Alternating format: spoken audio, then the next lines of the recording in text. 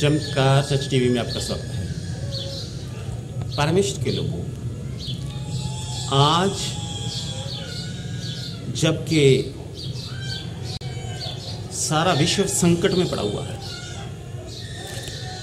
महामारी, मौतें ही मौतें। जब हम न्यूज़ चैनलों पे देखते हैं, मैं आपसे एक बार ये कहना चाहता हूँ उन लोगों से। आप सभी से नहीं। आप कब होश में आएँगे? इतने हालात बुरे हो चुके हैं। आप कब होश में आओगे? जब मौत आपकी गली में आ जाएगी, तब होश में आओगे। इस समय आपका हृदय, आपका मन बड़ा दीन, नमक हलीम हो जाना चाहिए। लेकिन अगर इतना सब कुछ देखने के बाद भी आपका हृदय नहीं बदला तो कब बदलेगा? मैं फिर कहता हूँ, क्या जब गली में मृत्यु आ जाएगी, गली में मौत घूमने लग जाएगी, तब आप नमर दीन, हलीम होंगे। परमेश्वर करे, आपके घर की बात नहीं कर रहा। और ना ही आपके घर में आए। आपके घर के चारों ओर परमेश्वर बाड़ा बाँध के रखे। लेकिन आज आप देखिए, मैं आपको कुछ बता रहा हूँ कि आपका, आप चेक कीजिए, आपका मन कैसा है? क्या पहला, क्या आपका मन क्षमा करने वाला है या नहीं? आप चेक कीजिए। दूसरा, क्या आपका मन दूसरों के लिए क्षमा मांगने वाला है कि नहीं है? दूसरों की क्षमा चाहने वाला है कि नहीं है? दूसरों की क्षमा। कई बार हम तो हम चाहते हैं कि हमें तो क्षमा मिल जाए, लेकिन दूसरे को क्षमा ना मिले। तीसरा, आ, क्या आपका मन दीन, नमर, हलीम? मन है? या भी नहीं है। चौथा, क्या आपका मन प्रेम से भरा हुआ है? या नहीं। पांचवा, क्या आपका मन दया करने वाला भलाई करने वाला मन, कृपा वाला मन, तरस खाने वाला मन है या नहीं है? और पांचवा, क्या आपका मन धीरज रखने वाला है? जहाँ एकदम आग बबूला हो जाने वाला मन है। सातवां, क्या आपका मन परमेश्वर की दी हुई शांति से भरा हुआ है? या आपका मन व्याकुल होता है, आपको घबराहट होती है चिंता ग्रस्त रहते हैं, हाय, क्या खाएँगे, क्या पिएँगे वो वाली चिंता। क्लिसिया के नहीं क्लिसिया की चिंता तो पास लोग करते हैं। केयर करना हो, कहते हैं उसे। आठवां, क्या आपका मन आनंद से भरा हुआ है? क्योंकि यहोवा का आनंद, परमेश्वर का वचन कहता है, यहोवा का आनंद हमारा दृढ़गढ़ है। नवा क्या आपका मन विश्वास से भरा हुआ है कि परमेश्वर मेरे संग है? झट डगमगा रहा है और दसवा, क्या आपका मन पश्चाताप करने वाला है? जब कोई भी आप आपसे कोई गलती होती है तो आपका मन पछताता है अंदर ही अंदर। भी नहीं, मुझे ये नहीं कहना चाहिए था, मुझे ये नहीं बोलना चाहिए था, मुझे ये नहीं करना चाहिए था। या नहीं है। आप चेक कीजिए। और ग्यारह। क्या आपका मन संयम रखने वाला है? संयम, शरीर को कंट्रोल करना, संयम करना, संसारिक अभिलाषाओं की ओर फिरना, क्या आपका मन संयम करने वाला है? आप देखिए, आज हम लोग देख रहे हैं, इतना कुछ होने के बावजूद भी लोग नाश हो रहे हैं। उसके बावजूद भी कोई भी बहुत से ऐसे लोग हैं कोई दया ना तो दया करने वाला मन है ना तरस खाने वाला मन है ना कृपा करने वाला मन है ना भलाई करने वाला मन है ना प्रेम करने वाला मन है ना दीन है ना हलीम है और ना क्षमा करने वाला है ना दूसरे की क्षमा चाहने वाला है ना धीरज रखने वाला है ना शांति से भरा हुआ है ना आनंद से भरा हुआ है ना पश्चाताप करने वाला मन है तो एक शब्द में कहूँ तो कैसा मन है कठोर मन है कठोर मन है कैसे भी दुनिया के हालात हो जाएँ, कोई फ़र्क नहीं पड़ता। एक वचन में से मैं सारी बातें आपको समझाता हूँ। आप आप चेक कीजिएगा। मती की अंजील 18 अध्याय, उसका 23 और 24 23 वचन से लेकर 34 वचन तक। मती की अंजील 18 अध्याय 23 वचन से 34 वचन। मैं आपको जुबानी बताता हूँ। यह क्या है? एक राजा है। ये याद रखिए, वहाँ पर परमेश्वर मसीह कहते हैं, स्वर्ग का राज ऐसा है जन के स्वर्ग का राज्य का दृष्टान दे रहे हैं। जन की ये स्वर्ग की बात है, धरती के पर दृष्टांत धरती का है। परमेश्वर कहते हैं, एक राजा है, और उसके, उससे किसी ने कर्जा लिया हुआ था, ठीक है, उधार था। तब उसने कहा भी मैं अपने दासों को बुलाया कि मुझे सबका हिसाब दो, लिखा लेने लगा। तो उसको भी पकड़ लेकर आए। वह लिखा हुआ है, जो तोड़े का दृष्टांत है।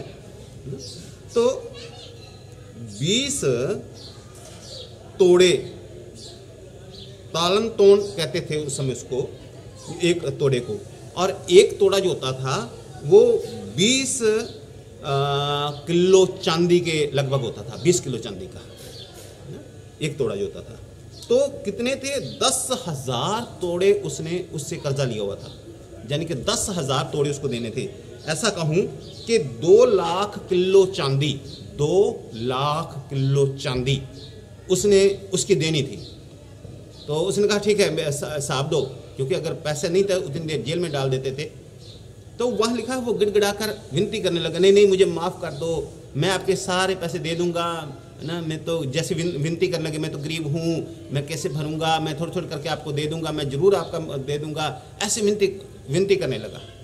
तब स्वामी ने कहा, ठीक है, तेरा सारे सारे पैसे माफ़ किए, दो लाख किलो चांदी माफ़ कर दी।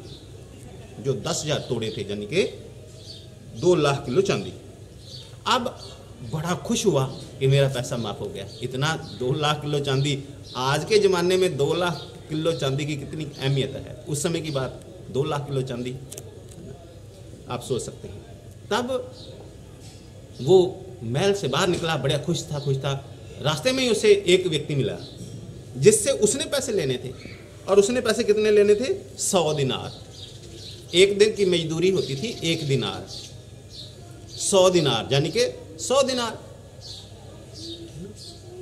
तो सिर्फ़ सौ दिनार उसने लेना था। उसने उससे कहा, मेरे पैसे दे। वो कहता, मेरे पास पैसे नहीं है। और विनती करने लगा, मिन्नत करने लगा, मैं दे दूँगा आपके पैसे, दे दूँगा। वो कहता, नहीं नहीं, मुझे अभी दे। वो कहता, नहीं नहीं, मैं दे दूँगा आपको। मिनती मिन्नत की, विनती की, लेकिन वो नहीं माना। वही जिसके दो लाख किलो चांदी माफ़ हुई थी जब वो नहीं माना, तब उसने कहा, पुलिस के पास ले गया उसको, अधिकारियों के पास ले गया और उसे जेल में डलवा दिया। जब जेल में डलवा दिया, तब क्या हुआ? तब जब उस स्वामी को पता चला कि इसने सौ रुपये लेना था, सिर्फ़ सौ दिनार लेना था तो उसको तो इसने जेल में डलवा दिया, माफ़ नहीं किया। तो उस स्वामी ने उसे बुलाया। उसने कहा, भी मैंने तो दो लाख किलो चांदी, दो लाख किलो चांदी तुझे क्षमा कर दी, कि तूने सौ रुपये नहीं, सौ दिनारी नहीं माफ़ किया उसको। जब तक तू मेरे दो लाख किलो चांदी ना देगा, भर नहीं देता, तब तक जेल में। तो उसे जेल में डाल दिया गया। परमेश्वर के लोग। देखो, ऐसा हृदय के लोगों को, ये स्वर्ग की बात है, परमेश्वर ने कहा, स्वर्ग का राज्य का दृष्टांत दिया था। लोग अपने हृदय अपने लिए तो माफ़ी चाहते हैं, मुझे तो माफ़ी मिल जाए। दो लाख किलो की मुझे तो माफ़ी मिल जाए, लेकिन दूसरे को इतनी सी भी माफ़ी ना मिले, सौ दिनार की माफ़ी ना मिले, एक किलो चांदी की भी माफ़ी ना मिले। मेरे लिए तो हो जाए। मैं आपको एक बात बताता हम लोग जब आज से पच्चीस पच्चीस साल के आसपास पहले जब बस बस में जाते थे इधर उधर तो आ, हमारे गाँव में बसें बहुत कम रुकती थी जो आती थी लंबे रूट वाली जो होती थी। और वो बड़े बड़े बस स्टैंड होते थे वहाँ रुकती थी। तो आ, मैं जब प्रभु में था कितने साल हो गए मैं मुझे नहीं मालूम ध्यान नहीं है ये कब की बात बता रहा हूँ लेकिन 20-25 साल के बीच में की बात नहीं। तो मैं जब प्रार्थना करने लग जाना। प्रभु जी बस रुक जाए, प्रभु जी बस रुक जाए, प्रभु जी बस रुक जाए। तब, उस बस बस अड्डे पर जब मैं जाना, थोड़ी सी देरी अगर मुझे वेट करना पड़ती तो प्रार्थना करता। और बस रुक जाती। जैसे ही बस रुक जाती, बीस, बस में बैठ गया, सीट मिल गई प्रभु से, नाम से, और बैठकर बस में। और अब जब वो छोटे से आगे चलकर बस अड्डे पे, गाँव पे फिर रुकी तो मैं कहता या नहीं रुकनी चाहिए। प्रभु जी छोटे अड्डों पे ना रुके। किसी भी छोटे अड्डे पे ना रुके। फटाफट बड़े अड्डों पे बड़े अड्डा मतलब बड़े बस स्टैंड पे रुके और जल्दी से पहुँचे। तो एकदम मेरा नज़रिया जो था वो घूम जाता। था पहले तो मैं कहता था अभी इस छोटे बस स्टैंड पे रुके। ठीक है? और जैसे मे, मे, मेरे लिए तो रुक गई लेकिन मैं ये कहता था दूसरों के लिए ना रुके। ओ बार बार रुक रही है ये क्या करती है? बार बार रुक रही है छोटे छोटे अड्डों पे। इतने इतना टाइम लगा दिया इसने। तो ऐसा अपने लिए तो हो जाए। अपने तो दो लाख चाँद चांदी जो है वो माफ़ हो जाए। लेकिन दूसरे के सौ सौ रुपये भी ना हो, सौ दिनार भी ना हो। इसमें हम लोग क्या देखते हैं? इस व्यक्ति के अंदर ना तो दया वाला मन था, ना तरस खाने वाला मन था, ना कृपा करने वाला मन था, ना पलाई करने वाला मन था, ना प्रेम करने वाला मन था, ना दीन मन था, ना हलीम, नम्र मन था, ना ये क्षमा करने वाला मन था इसके अंदर। ना लोगों के लिए क्षमा चाहने वाला मन था। क्या? ना ये धीरज रखने वाला था। उसने कहा, धीरज रख, मैं दे दूँगा पैसे।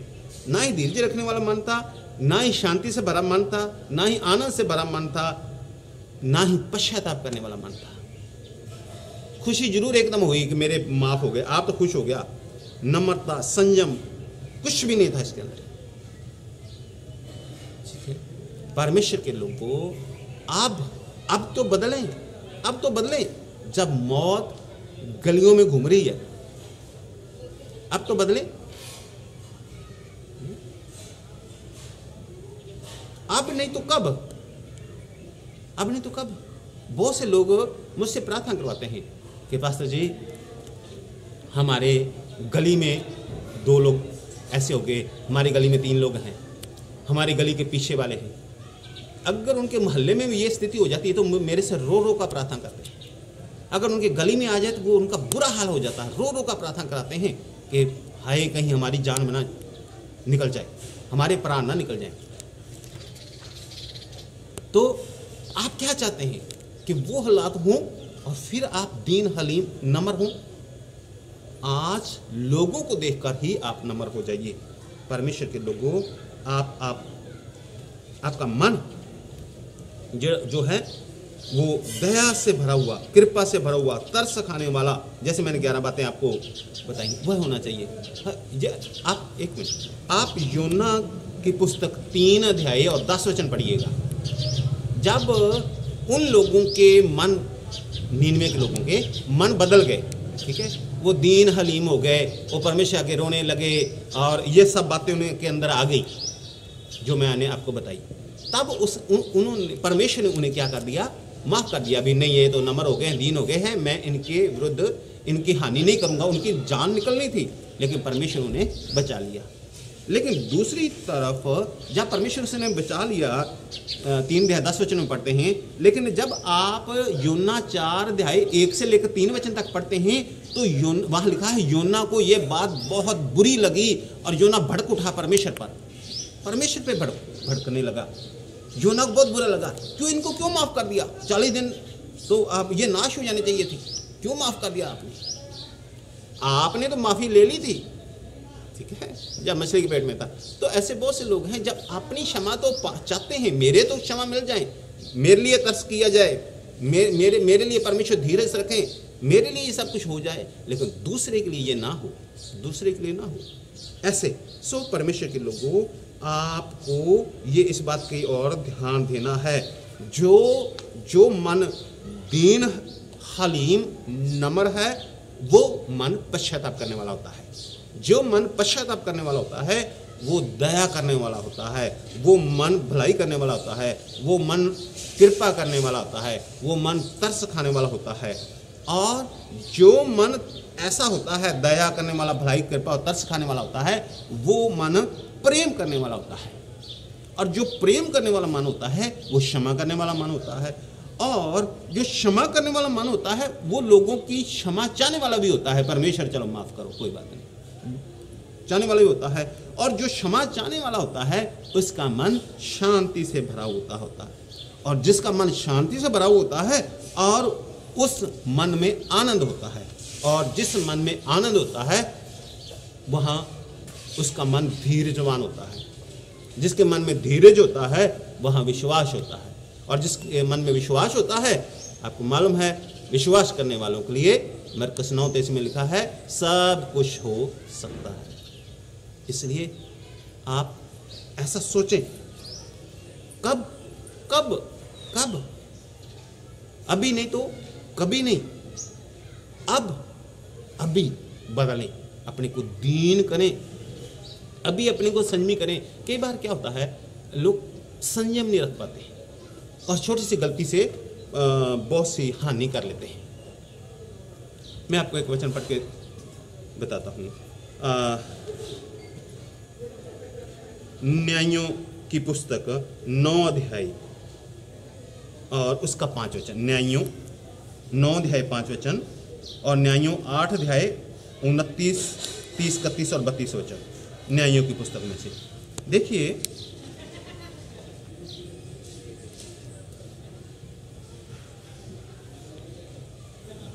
न्यायों नौ अध्याय और पाँच तब उसने ओपरा में अपने पिता के घर जाके अपने भाइयों को जो यरुबाल के सत्तर पुत्र थे, यरुबाल को किसका नाम है? गिदौन का गिदौन का।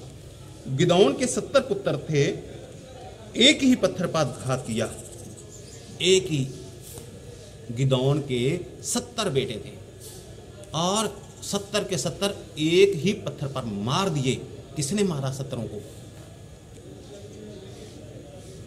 हालाँकि इसमें यह लिखा हुआ है, सत्तर पुत्र थे और एक ही पत्थर पर घात किया, परंतु यरूबाल का युताम नाम को लोहरा पुत्र शिवकर बच गया। ठीक है? क्यों हुआ ऐसा? क्योंकि इसने संयम नहीं रखा। किसने नहीं रखा था? गदौन ने। क्या गलती थी? एक छोटी सी गलती और सत्तर बेटे मरवा लिए। एक छोटी सी गलती। संयम नहीं था। कौन सी गलती थी? न्यायों आठ अध्याय में लिखा है, आठ अध्याय तीस और इकतीस वचन।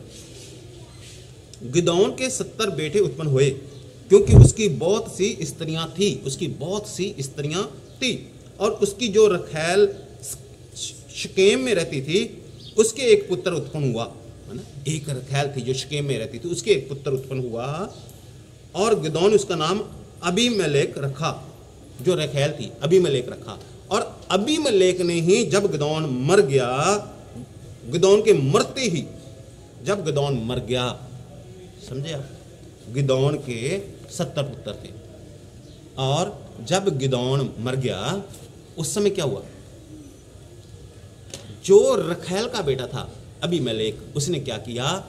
सत्तर के सत्तर बेटों को मार दिया, जब गिदौन मरा था। एक गलती।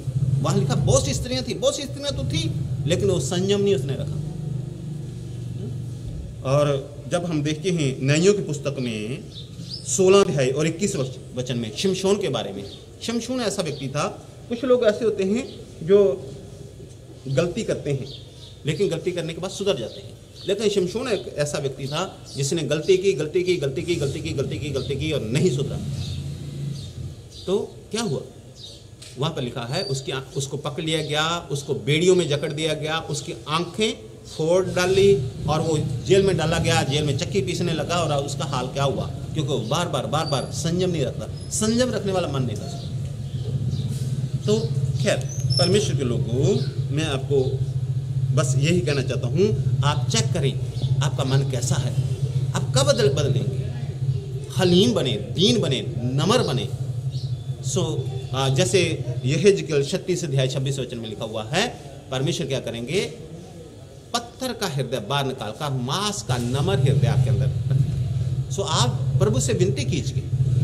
प्रभु से विनती कीजिए कि प्रभु जी मेरे हृदय को बदल दीजिए। जब आप जानेंगे, ये ग्यारह बातें मैंने बताई कि आपके मन में क्या है? आपका मन उस व्यक्ति जैसा तो नहीं है। जैसे जिसकी बात मैं कर रहा था। तो परमेश्वर आपके हृदय को बदलेंगे। मैं आपके लिए प्रार्थना करता हूँ। मेरे परमेश्वर पिता, आपका वचन यह ज़िक्र छत्तीस अध्याय छब्बीस वचन में लिखा है कि मैं तुम्हें नया मन दूँगा और पत्थर के हृदय बाहर निकालूँगा, कठोर हृदय बाहर निकालूँगा और मांस का हृदय नमर हृदय दूँगा और तुम में मैं नवी नई आत्मा उत्पन्न करूँगा। मेरे परमेश्वर जी, जितने लोग भी हमारे साथ हैं, इन लोगों में अपनी पवित्र आत्मा को ढेलिए, पवित्र आत्मा से इनके हृदय को बदल दीजिए। नमर, दीन, हलीम पश्चातापी मन बना दीजिए।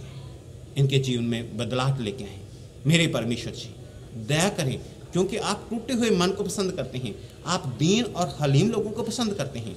मेरे परमेश्वर पिता, अपना हाथ बढ़ाएँ और इन्हें ब्लस करें। आशीषित करें, आशीष करें, इनका हृदय बदल जाए। आपको पसंद आने वाला मन बन जाए। मदद करो। स्वर्गीय पिता पर विश्व के नाम से प्रार्थना माँगता हूँ। आमीन।